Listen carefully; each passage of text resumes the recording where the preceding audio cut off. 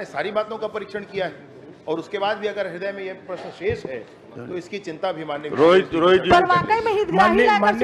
महोदय रोहित मैं माननीय मंत्री जी से एक निवेदन करूँगा कि पूरे छत्तीसगढ़ में मैं भी पूर्व में सरपंच रहा हूँ। 2011 की सर्वे सूची 2002 की सर्वे सूची के आधार पे आवास योजना में शामिल हुआ है।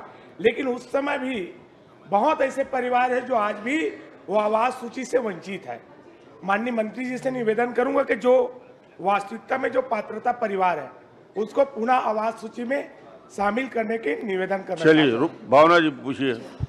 इससे में आवास से संबंधित ही एक जानकारी और एक प्रश्न भी है जो अभी जो गाँव में या जो तालाब के किनारे जो निवासरत है उनको चूँकि पट्टा उनका नहीं बन पाता है तो हर तरीके से आवास से वो वंचित है तो क्या आने वाले समय में कुछ योजनाएँ बनेंगी कि जो तालाब के किनारे जो काफ़ी सालों से जो बसाहट है उनके आवास के विषय में आगे क्या संभावना है ये बहुत मूल क्वेश्चन है अध्यक्ष महोदय तो मंत्री जी से ये पूछना चाहूँगी। चलिए।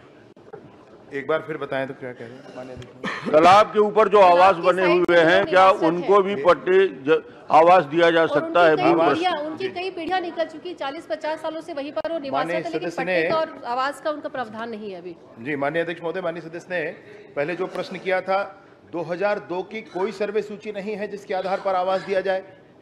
आवास सिर्फ़ 2011 और 2016 की सर्वे सूची के आधार पर दिया जाता है। और एक आवास प्लस है उसको पिछली सरकार भूल गई थी एक्चुअली वो उस पर काम ही नहीं हो पाया। वो आवास प्लस कहते हैं उसमें उसको उसके आधार पर भी आठ लाख लोगों को आवास मिलना था। आवास का काम पूरा हो जाता तो आवास प्लस शुरू होता परंतु पूरे देश में फिर से बताना मैं चाहता हूँ माननीय अध्यक्ष महोदय कि सिर्फ़ छत्तीसगढ़ और पश्चिम बंगाल ऐसे राज्य हैं जहाँ पर आवास का काम पूर्ण नहीं हुआ तो आवास प्लस प्रारंभ ही नहीं हो पाया। तो 2016 का कोई सर्वे सूची है? 2016 की सर्वे सूची के आधार पर आवास दिया जाना है ये स्पष्ट ही नहीं हो पाया है। चलिए अजय चंद्राकर जी बहुत प्रश्न हो गए। सर्वे सूची अनुसार दिया जा रहा है। अभी विभाग की चर्चा में आप अपनी बात रखेंगे बहुत अवसर मिलेगा। चलिए।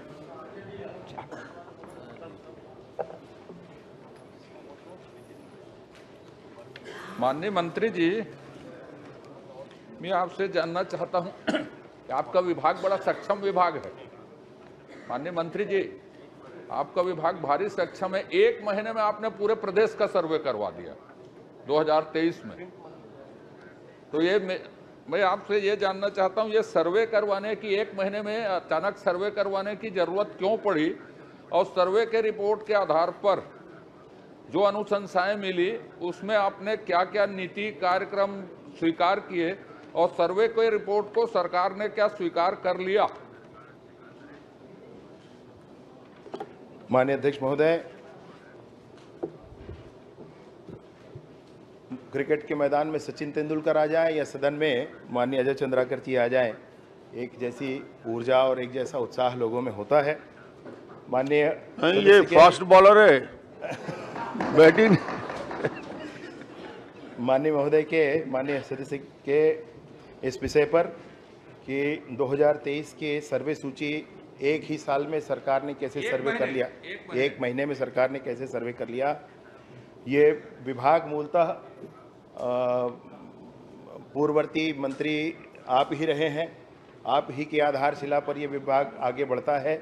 आपने ही जो प्रतिमान स्थापित किए हैं उसको पार करना बहुत बढ़िया, ठीक, मैं आपसे ये ज़रूर कहना चाहता हूँ कि ये जो सर्वे हुआ है इस सर्वे के आधार पर इसका फिर से भौतिक परीक्षण नहीं हुआ है, परंतु इसमें जो शून्य कमरों के मकान हैं, कच्चे कमरों वाले, उन आवास के लिए भौतिक सत्यापन भी किया गया है और उनको स्वीकृत भी किया गया है। मैं आपको ज़रूर बताना चाहता हूँ नहीं, माननीय, आप सिर्फ़ मकान में केंद्रित हो गए। मैंने ये पूछा है कि एक महीने के सर्वे में आपको सर्वे की जो जो रिपोर्ट मिली है उसके आधार, उस सर्वे रिपोर्ट को क्या आपने स्वीकार कर लिया और उस आधार पर आपने क्या नीति कार्यक्रम बनाए, आपने लिखा है उसमें और क्या बजट उसके लिए निर्धारित किया? यदि मैं पूछूँगा कि सिर्फ़ आवास का, तब आवास का विषय आएगा। अभी तो मैंने पूरे सर्वे के बारे में पूछा है आपसे। आवास तक अभी पहुँचा नहीं हूँ मैं।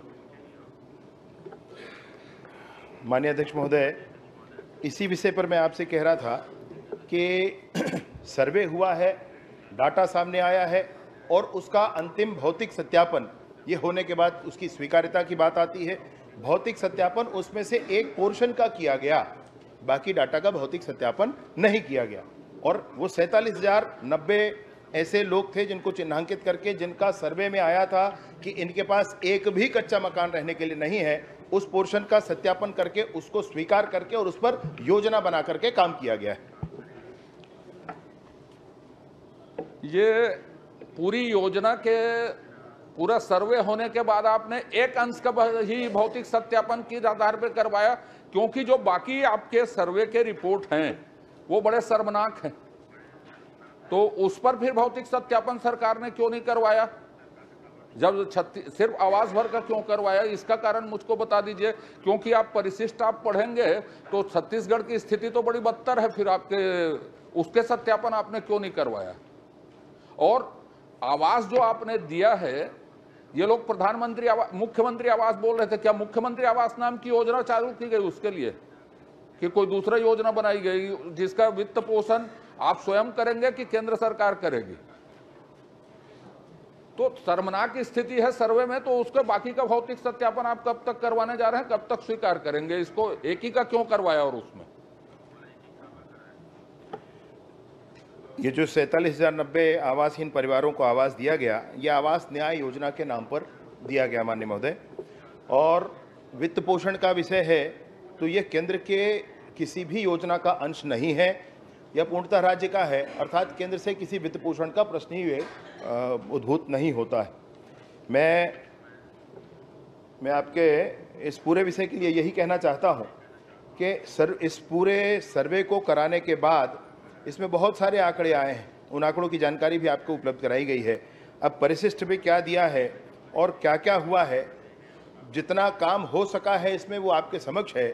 इस इन डाटा, इस डाटा को यूज़ करना या नहीं करना, इसका एक निर्णय करके और इस पर आगे कार्यवाही करेंगे सर। नहीं, माननीय, मैंने आपसे पूछा कि बाकी जो आपके आंकड़े आए हैं, माननीय अध्यक्ष महोदय, आपसे आग्रह करूँगा थोड़ा सा। जैसे शौचालय युक्त परिवार 30 लाख है। छत्तीसगढ़ में टोटल परिवार बहत्तर लाख है। तो 42 लाख परिवारों के पास शौचालय नहीं है, जबकि छत्तीसगढ़ में हमने अनुमति ली थी 280 290 गाँव को मुक्त ओडीएफ घोषित हो चुका है 280 90 गाँव को छोड़ के। तो ये आप इसको शुरू करेंगे क्या? आपने लिखा है उसमें अस्थायी विद्युत कनेक्शन बारह लाख छत्तीस हज़ार छह सौ बैसठ। मैंने इतने मतलब आवास में बिजली ही नहीं है। तो ये तो छत्तीसगढ़ की बड़ी दर्दनाक स्थिति है। आप देखिए थोड़ा सा। जो आप उज्ज्वला गैस 18 लाख बांटे हैं, बोल रहे हैं, उज्ज्वला की वेबसाइट खोल लीजिए 36 लाख बढ़ गए। तो ये पूरा चौदह करोड़ आपका या तो घोटाला है। एक महीने में आपने कर लिया, या तो इन सब में आप कार्रवाई कीजिए। ये लोग छत्तीसगढ़ की स्थिति को बर्बाद कर दी है या तो पाँच साल में ये माना जाएगा। तो अब मैं तो तो आपकी सरकार है तो कार्रवाई अरे सर, आपने करवाया कार्रवाई है। तीन महीना चार महीना अब तो आप देखिए आप सुन लीजिए और। ये आप मजदूरी में संलग्न परिवार 25 लाख हैं एक्टिव जॉब कार्ड। कुल जॉब कार्ड को तो छोड़ दूँ एक्टिव जॉब कार्ड जो है आपके 32 लाख हैं आप अपनी वेबसाइट खोल लीजिए।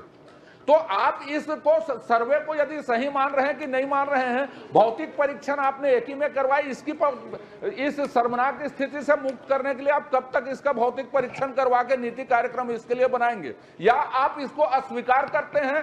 तो अस्वीकार करते हैं, यह कहिए सदन में। क्योंकि जो आपने पहले कहे हो, और आज के आंकड़े दोनों में ज़मीन आसमान का अंतर है। और इसलिए मैंने कहा कि एक महीने में किया गया सर्वे एक घोटाला है।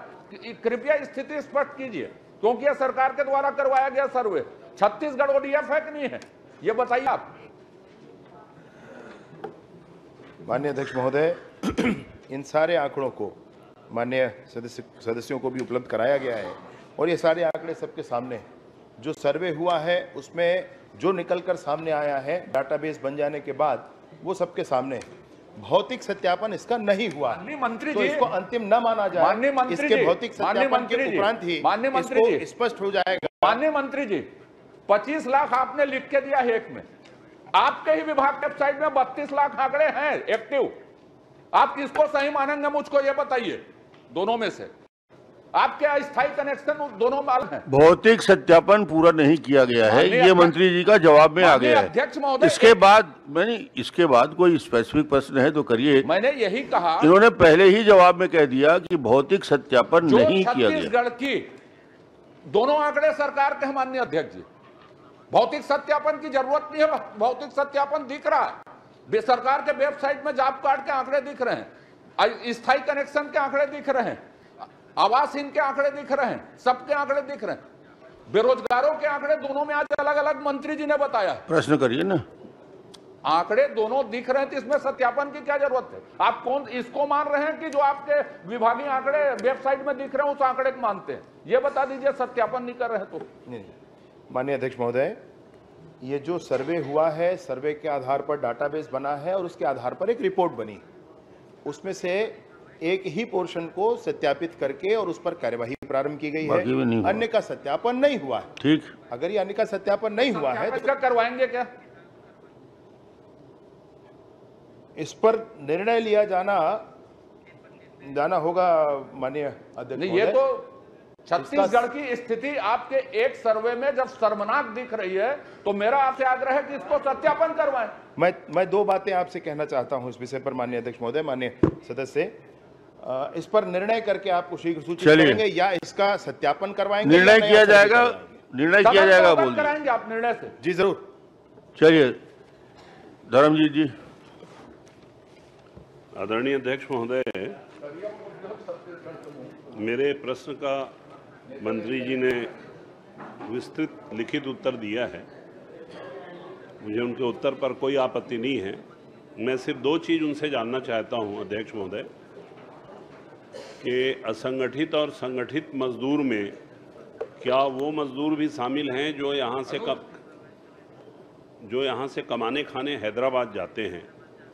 उनके लिए कोई व्यवस्था जो असंगठित और संगठित मजदूर जो हैदरा एक मिनट, हैदराबाद जाते हैं, उनकी सूची वगैरह आपके पास है क्या लिस्ट में? एक। दूसरा, आपने जो बहुत से काम बताए, मैं मुझे पढ़ के तो अच्छा लगा। छत्तीसगढ़ सन्निकार सन्निर्माण कर्मकार मंडल में आपने तीस काम बताया है और असंगठित कर्मकार में उनतीस काम। बहुत महत्वपूर्ण है परिशिष्ट में जो आपने दिया है।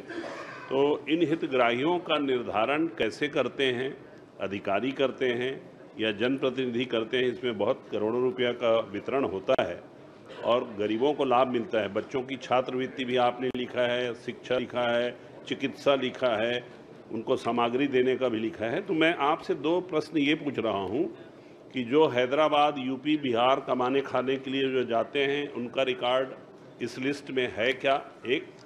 दूसरा, ये जो आप जो योजना बना के दो दो साठ योजना लगभग है, इसका निर्धारण हितग्राही का चयन किस प्रक्रिया से होता है और क्या इसमें विधायक या अन्य जनप्रतिनिधि शामिल रहते हैं क्या?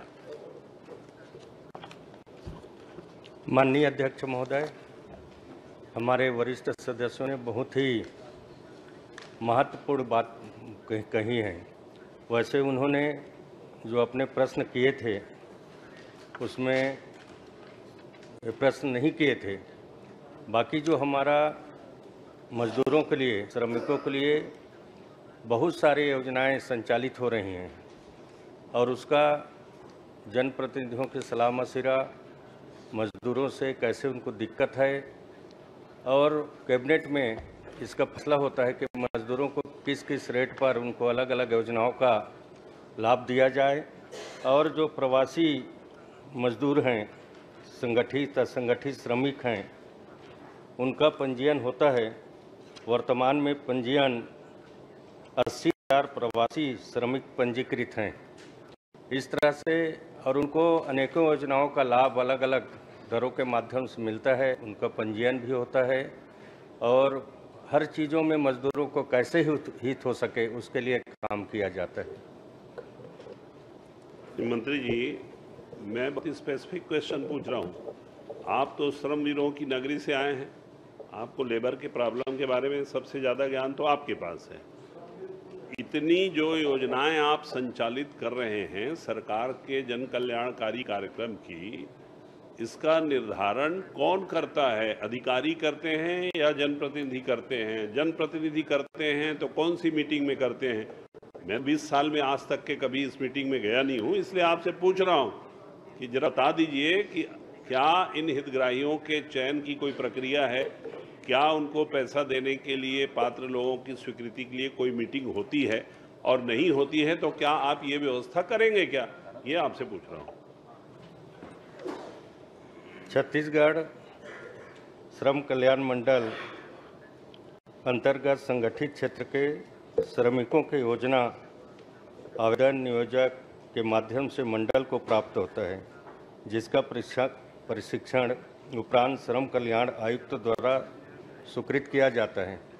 और आवश्यकता पड़ता है तो कैबिनेट में भी ले जाते हैं और वहाँ पर आप, आप मेरी बात से होता है वो तो मेरे को भी मालूम है। पहली दूसरी के बच्चे लोग भी जानते हैं। हर चीज़ का इलाज कैबिनेट है तांत्रिक अंगूठी टाइप का। मैं ये पूछ रहा हूँ मंत्री जी कि ये हितग्राहियों का चयन कौन करता है? कि इन हितग्राहियों को क्या क्या देना है? ज़िले वाइज होता है, कि मंडल में होता है, कि मंत्रालय में होता है, इसको बताइए ना एक। और दूसरा ये बता दीजिए कि बिलासपुर ज़िले के मजदूरों के हितग्राहियों के चयन के लिए क्या बिलासपुर के जनप्रतिनिधियों को या कोरबा के जनप्रतिनिधियों के संग आपके अधिकारी बैठक लेके तय करेंगे, या अधिकारी वो कौन प्रमुख सचिव बताए थे, वही कर देंगे। ये आप बता दीजिए।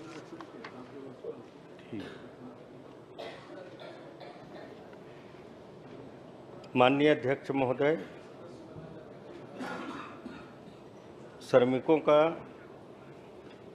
निर्माण श्रमिकों का रूप में 90 दिन से अधिक कार्य करने का प्रमाण पत्र जो ठेकेदार, श्रम नियोजक, श्रम निरीक्षक, ट्रेड यूनियन द्वारा जारी हो और आधार कार्ड, बैंक पासबुक, प्रथम पेज, स्क्रीन बार पंजीयन होने, पंजीयन पाँच साल के, वैध तस्पात पाँच वर्षों में नवीनीकरण लाइव फ़ोटो।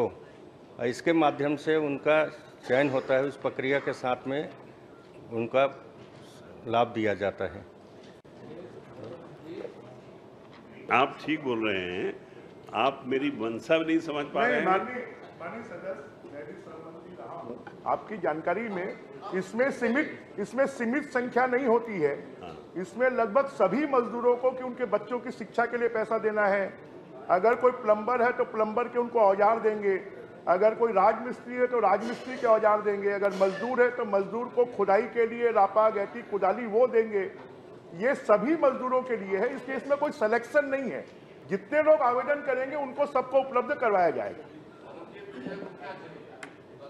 मुझे कुछ नहीं चाहिए। आपके शहर के एक महापुरुष इसमें थे। अरे मोहल्ले जी पूछ रहे हैं कि क्या क्या औज़ार देते हो? वो एक बड़े अब अब मोहल्ले जी को जो औज़ार चाहिए वो तो हम नहीं दे सकते।